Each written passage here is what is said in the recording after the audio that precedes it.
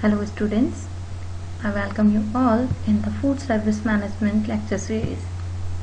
Students, पिछली बार हमने इकाई पाँच का अध्ययन किया था जिसमें हमने कार्मिक अध्ययन के बारे में समझा और सम, ये भी जाना कि किसी भी फ़ूड इंडस्ट्री के लिए या किसी भी खाद्य इकाई के लिए कार्मिक प्रबंधन की क्या महत्ता है आज हम पढ़ेंगे खाद्य प्रबंधन के बारे में क्योंकि हम खाद्य सेवा प्रबंधन ही पढ़ रहे हैं और खाद्य इकाइयों के बारे में ही हम अध्ययन कर रहे हैं।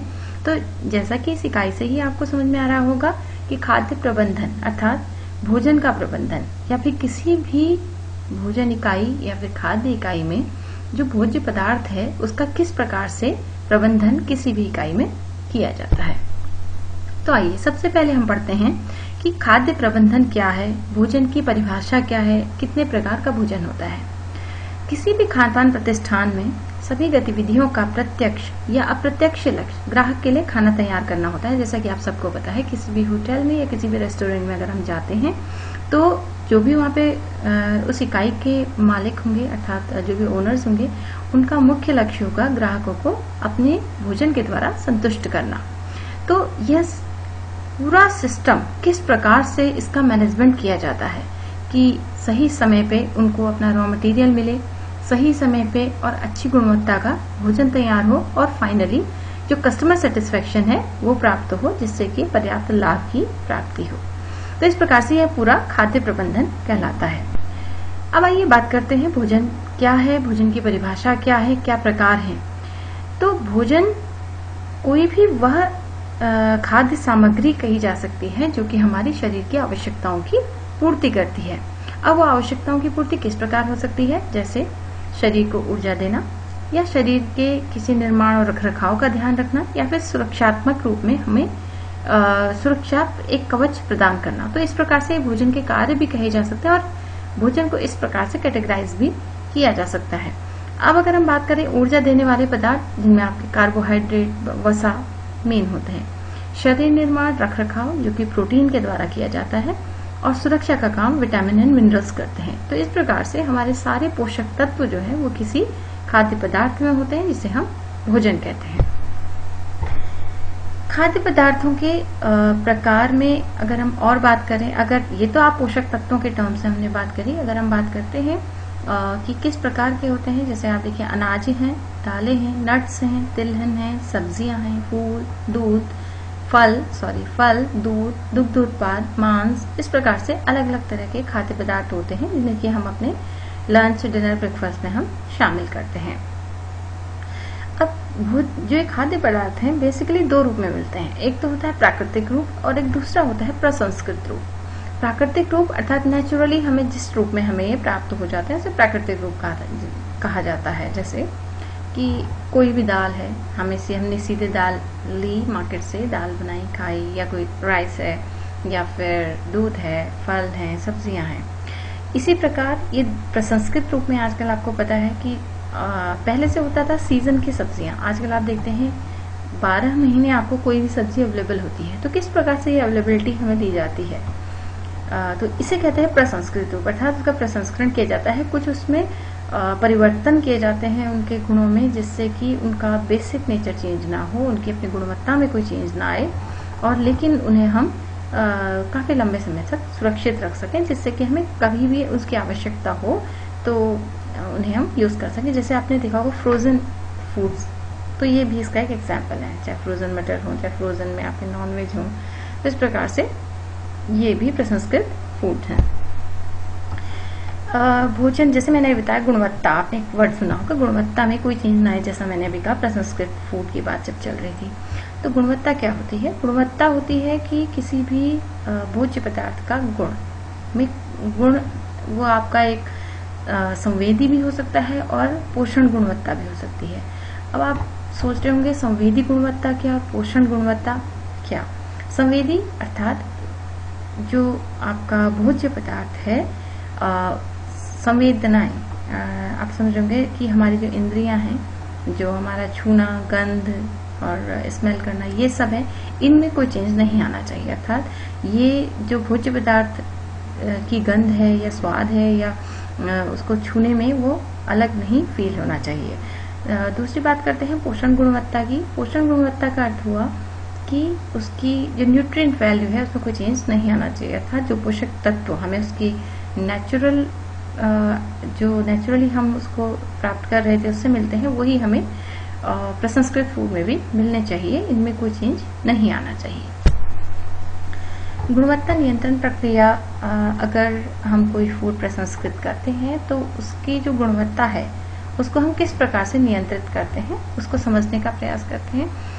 आ, इसके लिए ज़रूरत है कि आप जो उसमें निर्देश हैं जो भी इनके स्टैंडर्ड्स बनाए गए हैं कि किस टेम्परेचर पे और किस प्रकार से, किस वातावरण में उनको स्टोर करना चाहिए, किस तरीके से करना चाहिए, वो सब आपको नियम फॉलो करने होंगे, तभी हम गुणवत्ता को नियंत्रित कर सकते हैं। इसके लिए समय समय पर जाँच करना बहुत आवश्यक है। तो जैसे गुणवत्ता के लिए खाद्य पदार्थ की जाँच करने के लिए कभी कभी जो उसके वर्कर्स होते हैं, उन्हें पता नहीं होता है या फिर गलती से भी हो जाता है उसमें कभी आप देखते होंगे कभी कभी कोई सामान खराब निकल जाता है क्योंकि शायद उसमें टेम्परेचर का और जो उनको इन्वायरमेंट एटमॉस्फेयर चाहिए, वो नहीं मिलता है, जिसके कारण वो खराब हो जाते हैं या खराब हो सकते हैं। तो इस प्रकार से इसके लिए एक एक रेगुलर चेक इन होना चेकअप होना बहुत ज़रूरी है कि सारी जो स्टेप बाय स्टेप जो जो प्रोसेस है वो फॉलो की जा रही है या नहीं की जा रही है। क्योंकि यदि ये सब नहीं किया जा रहा है तो भोज्य पदार्थ के खराब होने के बहुत चांसेस होंगे। यदि आपका उत्पाद तैयार हो गया है तो उसके बाद भी आप इसका परीक्षण कर सकते हैं आ, ताकि जो फाइनली कस्टमर को प्रोडक्ट मिलता है उसमें वह खराब ना निकले और कस्टमर सेटिस्फेक्शन के मामले में आपको कहीं पर भी प्रॉब्लम ना आए। तो यदि कोई भी कोई भी व्यंजन है, वो बना है और आपको उसका एहसास हो गया है कि वो ख़राब हो गया है क्योंकि उसके पीछे रीज़न कुछ भी हो सकता है कि उसका सही से स्टोरेज नहीं था, या उसका पोषक मूल्य जो है वो खराब हो गया या कुछ भी उसका अगर इसमें खराबी पाई जाती है, आपको फाइनल प्रोडक्ट बनने पे भी पता चलता है। तो एज अ ओनर या एज अ मैनेजर आपका ये ड्यूटी है कि आपकी, कि आपको उसको कस्टमर के पास जाने से तत्काल रोक देना चाहिए और दूसरा प्रोडक्ट बनाना चाहिए। आ, अब जो ये कड़ी है ये कैसे शुरू होती है? जो हम खाद्य प्रबंधन के बारे में पढ़ रहे हैं तो इसकी इसकी स्टेप बाय स्टेप पढ़ते हैं। सबसे पहले इसमें आता है खाद्य क्रय अर्थात भोजन को किस प्रकार से खरीदा जाता है। आ, सबसे पहले कोई भी खाद्य इकाई आपकी है तो आपके पास भोज्य पदार्थ की या खाद्य का उसका रॉ मटेरियल होना उसकी उपलब्धता होना बहुत आवश्यक है। और अगर आप इस अगर उस उस संस्था में आपको ये ड्यूटी दी गई है कि आपको क्रय करना है आपको खाद्य पदार्थ या भोज्य पदार्थ खरीदना है तो आपको यह अच्छे से पता होना चाहिए कि किस किस प्रकार उसकी गुणवत्ता उसके आ, अच्छे होने को आप चेक करेंगे कि वह जो भी आप पदार्थ ले रहे हैं वो सही क्वालिटी का आप ले रहे हैं तो इसका आपको ज़रूर ज्ञान होना आ, चाहिए। और रेट वगैरह के बारे में आपको बिल्कुल अच्छे से पता होना चाहिए कि किस सीज़न में किस समय आपको कौन सी चीज़ सस्ती मिल सकती है। आपको मार्केट भी चिन्हित करना बहुत आवश्यक है जहाँ पे आपको सस्ता और अच्छी क्वालिटी का सामान मिलता हो। और जैसे क्रय क्रय बिंदु पर भोजन खर्च नियंत्रित किया जा सकता है क्योंकि यही एक यह, यह भी एक पॉइंट है जहाँ पे आप अपनी लागत को कम कर सकते हैं। अतः सूझबूझ और अपनी अच्छी समझ से क्रय करना बहुत आवश्यक है। जिससे कि आपका आगे को जो प्रोसेस है, वो थोड़ा सा इजी हो सके और उस प्रतिष्ठान या फिर किसी भी जो संस्था है, उसको होने वाले लाभ को हम बढ़ा सकें। इसके अलावा अगर आपको ऐसा पदार्थ ले रहे हैं जिसको फ्रीज करने की ज़रूरत है, जैसे अभी बताया फ्रोजन मटर्स वगैरह आती हैं तो यह भी ध्यान रखने की आवश्यकता है कि आप उसको किस प्रकार से खरीदेंगे, किस प्रकार से अपने अपने यूनिट तक लाएँगे, उसके बाद से कहाँ स्टोर करेंगे तो इस सब का भी ध्यान रखना बहुत आवश्यक है। क्रय गतिविधि क्या होती है? क्रय गतिविधि में केवल सामग्री खरीदना ही नहीं है। इसमें क्या आपने भोजन बनाना है? उसके लिए आपको क्या सामग्री चाहिए?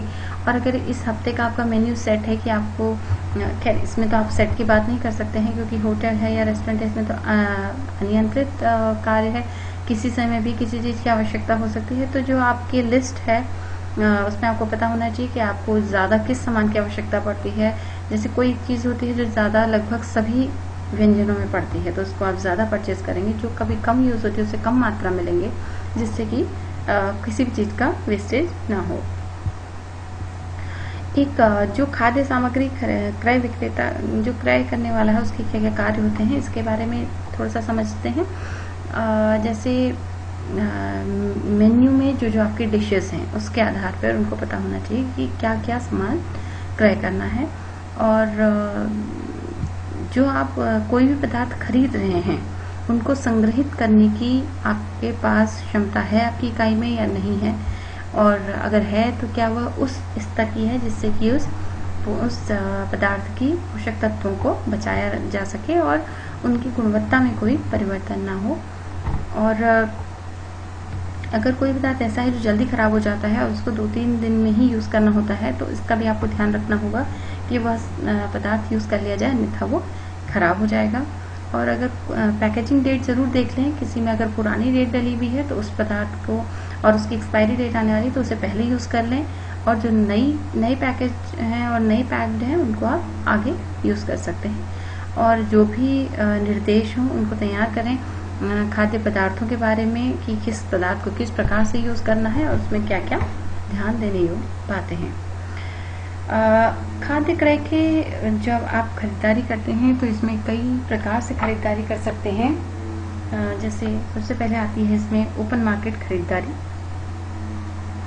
अधिकांश खाद्य सेवा प्रतिष्ठान अपने इकाइयों के लिए, अपने प्रतिष्ठानों के लिए खाद्य पदार्थ खरीदने के लिए इस विधि का प्रयोग करते हैं। इसमें जो खरीदार होता है, जो विक्रय करने वाला व्यक्ति होता है, वो कोटेशन आमंत्रित की जाती हैं। तो कोटेशन में क्या क्या होता है? आपूर्ति जो आपूर्ति करता अर्थात जो प्रोवाइडर है सर्विस प्रोवाइडर है वो आ, एक सैंपल देता है अपनी आ, उसकी प्राइस बताता है और कब वो डिलीवरी कर पाएगा आ, ये सब लिख के देता है। तो इसके आधार पर आ, आ, हम जो कोई भी संस्था है वो बेस्ट जो उसका सेलर होगा या बेस्ट उसका आपूर्ति करता होगा उसका सिलेक्शन करते हैं। और ये एक अनौपचारिक विधि होती है। और ये मतलब ज़्यादातर अधिकतर यूज़ की जाती है।